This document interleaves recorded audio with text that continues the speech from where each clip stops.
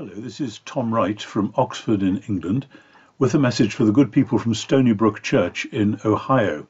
I gather that this Lent you're planning on studying Paul's letter to the Philippians, and I'm told that you're going to be using some of my own material in doing that study. I'm naturally delighted, and I hope and pray that it goes really, really well.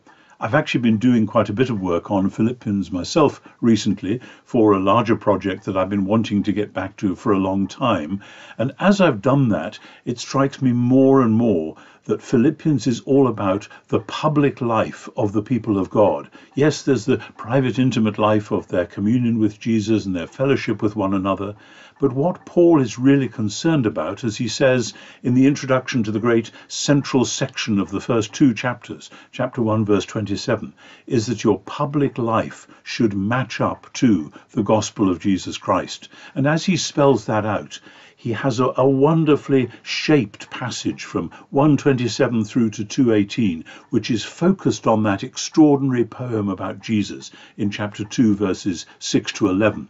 And what he's saying before that is that you must be united. And he's appealing for a rich kind of unity which goes far beyond the casual unity that we often know in the Western churches. And then from chapter 2, verse 12, he's talking about holiness, unity and holiness which are very difficult in themselves and even harder when you put them together. The only way for a church to be like that in front of the watching world is if it's focused totally on Jesus and that story which Paul tells of how Jesus went to the cross, even the death of the cross, he says in chapter 2, verse 8. And then the rest of the letter unfolds from there. I think this is a word for our time. The watching world looks on at the church and says, What are these people all about? But if they were to see even a glimpse of the public life being shaped by the gospel of Jesus, Israel's Messiah and the true Lord of the world, then they might perhaps want to think again.